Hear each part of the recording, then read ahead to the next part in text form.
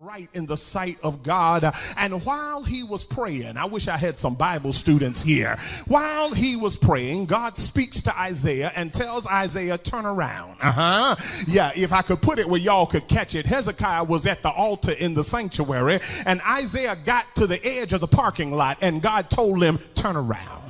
Go back and tell Hezekiah I heard his prayer, I saw his tears, and I'm adding 15 years to his life. Here's a quick shouting moment so I can wrap this message up in the next 20 to 25 minutes. You don't mess with folk who've been through something and know God brought them out. I wish I had some help here. You don't mess with folk who got a prayer life. You don't, you don't mess with folk who may not say much to you, but tell God everything. And do I have 20 folk in here who will holler at me who knows that when you start telling God about it and just sit back and just watch it how it unfolds, won't God work that thing out for you so pretty that when they want to point fingers, they can't say a word?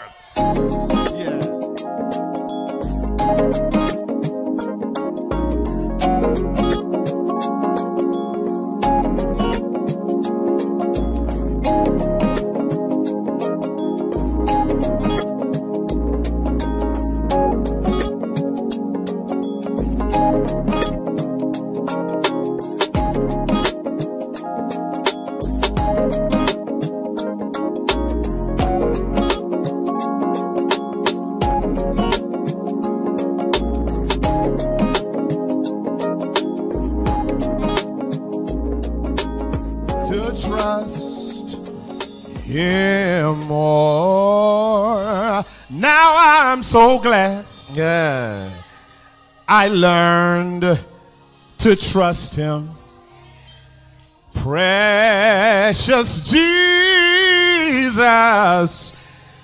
He's my savior and my friend. And I know, Lord have mercy, that thou art with me and you will be with me too to the end. Jesus, Jesus. Somebody know what I'm talking about. How I trust him. How Oh,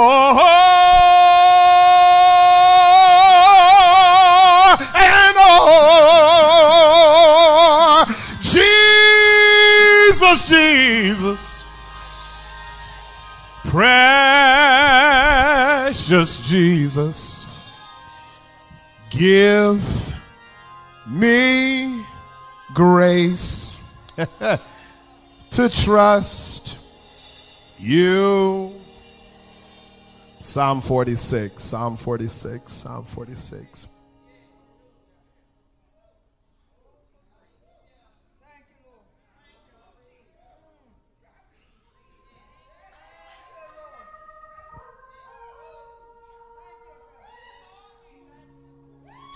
Hallelujah.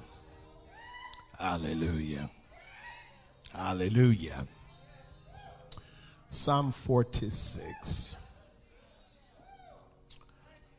I want to read today the entire psalm. Ain't nothing wrong. Ain't nothing wrong.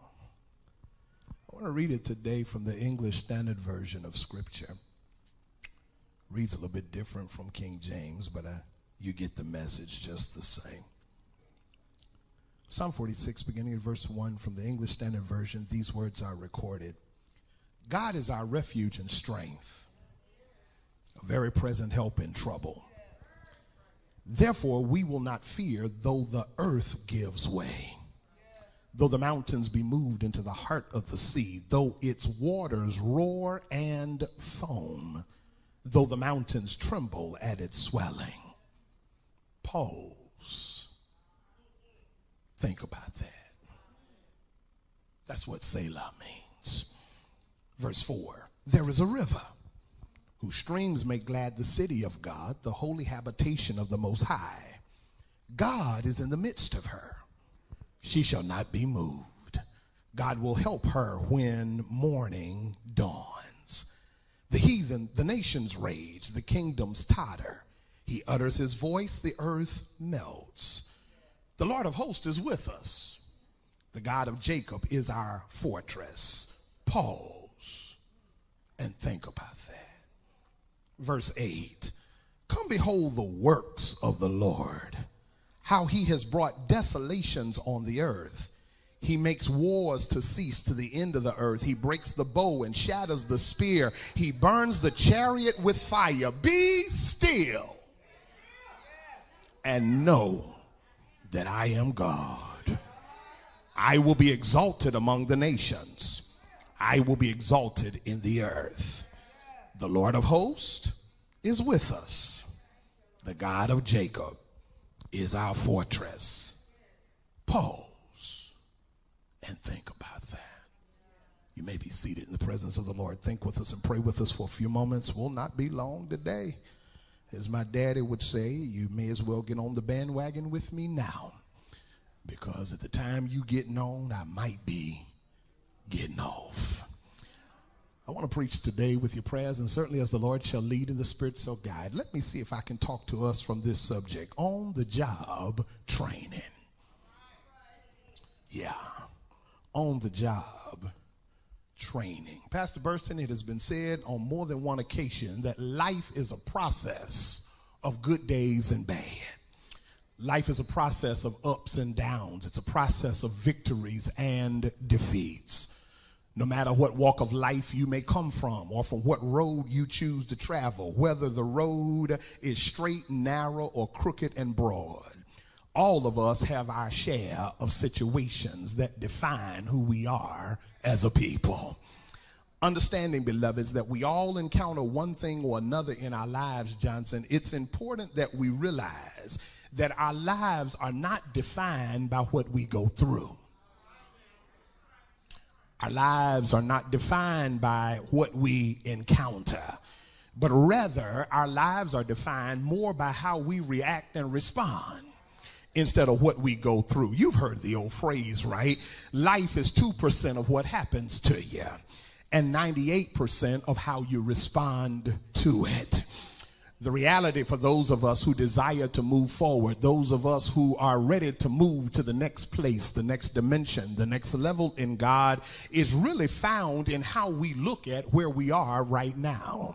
Yeah, make it live, Pastor. In other words, we can either see defeat or we can see destiny. We can see our potential or we can see problems. It's all in how you look at it.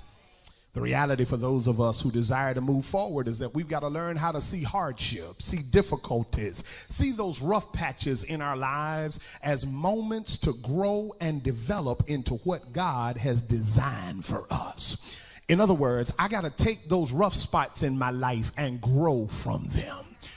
I got to take what I'm going through and let it make me better instead of bitter. You remember, it's all in how you see it. And I, and I got to believe, Sean, that this is what the sons of Korah had in mind when Psalm 46 was written. But in order for us to really understand what was taking place in Psalm 46, you're to have to travel back with me to the book of the prophet Isaiah. Yeah, in order for us to understand this, because when we look at Psalm 46 in its historical context, you go back to the 36th and 37th chapter of the book of the prophet Isaiah to see that Psalm 46 was actually a song of praise. Psalm 46 was actually a song of celebration, Brother Dickens, because they were celebrating the delivering power of God in their own situation. Yeah, at the time Psalm 46 was written, beloved, Isaiah 36 and 37 tells us that God's chosen people were under attack at the hand of Sennacherib and the Assyrian army. According to that passage in Isaiah 36, the Assyrians were seeking to attack God's chosen people who were under the leadership of King Hezekiah. And may I take a sidebar here and say they should have known better than to attack a group of folks under a leader who had been through something and know that God had brought him out. Yeah, y'all do remember this Hezekiah, right? This, this is the fella that the Bible records was sick unto death. You remember? This is the fella that the prophet Isaiah came to him and said, Set your house in order because you're going to die. You're not going to live. This is the fella who turned his face to the wall and prayed and asked God to remember how he had served him in truth and had done that which was right in the sight of God. And while he was praying, I wish I had some Bible students here. While he was praying, God speaks to Isaiah and tells Isaiah, turn around. Uh huh. Yeah, if I could put it where y'all could catch it, Hezekiah was at the altar in the sanctuary, and Isaiah got to the edge of the parking lot, and God told him, turn around. Go back and tell Hezekiah I heard his prayer, I saw his tears, and I'm adding 15 years to his life. Here's a quick shouting moment so I can wrap this message up in the next 20 to 25 minutes. You don't mess with folk who've been through something and know God brought them out. I wish I had some help here. You don't mess with folk who got a prayer life. You don't, you don't mess with folk who may not say much to you, but tell God everything. And do I have 20 folk in here who holler at me who knows that when you start telling God about it and just sit back and just watch it how it unfolds, won't God work that thing out for you so pretty that when they want to point fingers, they can't say a word? Yeah, yeah, yeah, yeah, yeah. According to Isaiah Johnson, Hezekiah tried to pay him off by hoping that they would leave him alone. He tried to give them a bounty, but when you get there, you see that Sennacherib wasn't having it. Instead of that, he sends another terror by the name of Rabshakeh. Rabshakeh went to Jerusalem with an army of folk and went to taunt God's chosen people. But it's something here when you get to Isaiah 37 that you see that's worth looking at because while they were taunting him, Isaiah 37 says that we see what God does when his people are under pressure. For the Bible declares that while Rabshakeh was preparing for an attack against God's people, Hezekiah was praying for deliverance. Somebody catch the revelation because isn't it amazing that while your enemies are working to hurt, harm, and hinder you, God will set you up to seek him and he'll send some help. Lord have mercy. So much so that at the end of chapter 37, here's a shouting moment. At the end of chapter 37, while the enemy was approaching and seeking to surround Jerusalem, the Bible says in Isaiah 37 uh, that God sent an angel. Lord, help me here. Y'all ain't ready. And with one swoop of the angel, 185,000 Assyrians were left dead at the gates of Jerusalem. Somebody missed it. Somebody missed it. Let me go back over it one more time because while the enemies were working to hurt, harm, and protect God's people, God's people were covered with help by God Himself. Man, I wish I had somebody who understands that you don't have to fight the fight. All you got to do is sit back uh, and let God fight the battle for you. Man, I wish I had about 60 people in here who can say, I'm a witness that God will fight your battle uh, if you just be still. God uh, will take care of the situation if you learn how to let go and let Him have His way. God will silence your enemy while you're crying out to Him. Come on, somebody. Is there anybody who knows uh, that God will handle it better than you can uh, when you learn how to step back uh, and let him have his way. Rod, give me some more sound in the monitors if you don't mind. This great feat in the life of God's chosen people leads the sons of Korah. That's good. Thank you. To write the words of the text because Psalm 46, beloved, was written while the people were going through. Come on now. Psalm 46, beloveds, was actually written while they were under attack. Psalm 46, y'all, was written while they were going through their situation. Another quick sidebar, because somebody knows that even in your roughest moment, that's a moment for you to find a praise in the midst of your problem. Now, Man, let me get in somebody's Kool-Aid. Y'all about to get upset with me, but I came to help somebody. Have you ever notice uh, that it is so easy to cry and complain about what you're going through? It's so easy to talk about, I don't know why it's gotta be me. I don't know why I'm going through it. Nobody knows the trouble I've seen. Can I let you in on a little secret? Some folk done seen that trouble, done bypassed it, done moved on from it, and can look back and tell you the Lord was right there with me, keeping me and covering me every step. I still ain't got no help up in here. I wish I had somebody who can look back over your life and say, my God, when I couldn't figure it out, God was working it on my behalf. So now we see here, we see here, Psalm 46 was written while they were under attack, while they were going through, which brings me to lead this subject with you of on the job training. Because, beloved, in this training called life, in this thing called life, uh, everything is not going to be given to you once you get started some things are going to happen and they're going to come to you uh, while you're going through what you're going through. Can I talk to somebody this morning to just encourage you to stop thinking you're the only one suffering? Stop thinking you're the only one having difficulty. My God, have you ever ran into contact with somebody and every time you ask them how they doing, is something wrong? How you doing? Well, my back hurting. Lord, uh, this hurting. I, I ain't got no money. Lord, this going wrong. Lord, that going wrong. Pastor, my dog bit my ankle. Lord, the cat don't want to get along with the dog. My husband ain't speaking to me. My wife ain't cooking for why y'all looking at me like that. The reality of it is, is sometimes you got to look beyond the pressure uh, and see the potential uh, to God working that thing out. Let us not be weary in well doing because in in due season. Am I helping somebody this morning?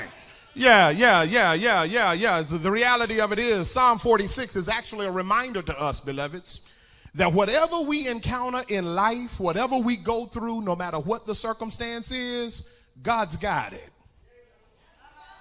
And when we do what we are supposed to do, God will handle it.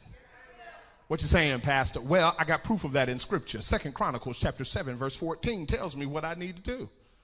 If my people called by would humble themselves, seek, and then y'all ain't saying nothing. I'll hear from heaven, I'll forgive sins, and I will heal the land. Somebody needs to know that it's what we go through in life that actually ought to help us prepare to celebrate before, during, and after what we go through. You see, you got to realize that God is there to help you no matter what you're facing. Yeah, he's there to provide refuge. He's there to provide security. And I wish I had somebody who knows that he'll give you peace that passeth all understanding. God is there to give us the training to go through, to go around, to come out, and to come over. In other words, God is there to rescue us. That's why we got to learn how to ask the Savior to help us comfort, strengthen, and keep us. He is willing to aid us and he will carry us through. So now, based on the story that is behind the text, based on what took place in the lives of God's chosen people in the book of Isaiah that leads them to write Psalm 46, I want to quickly show you what happens to us as believers when we go through our on the job training. Can I, can I show you what happens when we go through life and encounter all that life gives to us, there are a couple of things right in this psalm here that show me that my on the job training is worth something. Can I show it to you real quick? Here's the first thing right in the psalm. First thing in Psalm 46, number one, my on the job training has provided me strength in every situation what I go through has actually, y'all ready for this? Strengthened me. Now, watch it now, because once again, historical context comes into play. We go back to Isaiah 36 and 37, because in this moment of Israel's history, beloveds, God steps in and handles the issue for them. Mm-hmm, mm-hmm, mm-hmm. Y'all see it? You see it? While the Assyrians were relying and boasting of their military strength while the Assyrians were talking about their high castle on a high mountain surrounded by iron gates with a protection of fierce warriors, God's chosen people had another testimony. God's chosen people simply said, in the midst of what the Assyrians have, in the midst of what our enemies think they have to destroy us, here is our testimony. God is our refuge and strength. Man, y'all missed a good shouting moment because while other folk are relying on what they got, some of us ought to celebrate the God who got it all. Man, y'all should have said amen right there. While other folk are talking about what they got and what they own, is there anybody who can say my testimony is I don't possess houses or land, fine clothes or jewelry, sorrows and cares of this old world my lot seems to be, but I have a Christ who paid the price way back on Calvary. And I wish I had somebody that'll holler at me because you know Christ is all, uh, all and all uh, this world to me. Christ is all. Uh, he's everything to me. Christ is all. He rules the land and sea. Christ is all. Without him, nothing would be. Christ is, y'all ain't talking to me. Is there anybody who can say when I don't have money, I, I got God. When I don't have good sense, I got God. When hellhounds are on my trail, greater is he that is in me than he that's in the world. You see, their testimony was even while there are earthquakes that have the possibility of destroying man made kingdoms, I'm not worried about it. I will not fear. Why? God is my refuge. You see, the hardships of life ought to teach you how to properly place your priorities, beloved. See, when you discover that everybody you can count, you can't count on.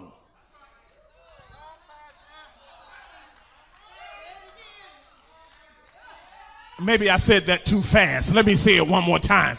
When you live through life and you start discovering everybody you can count, you can't count on.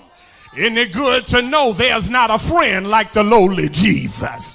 Is there anybody, is there anybody who can say that I've discovered that when everybody else walks off, I can still rely on the strength of God? Uh, when you learn how to walk by faith and not by sight and keep your hand in his hand and pray without ceasing and love your enemies, uh, you'll then build your hopes on things eternal and hold to God's unchanging hand. Even when my mother and my father forsake me, the Lord will take me up. Why?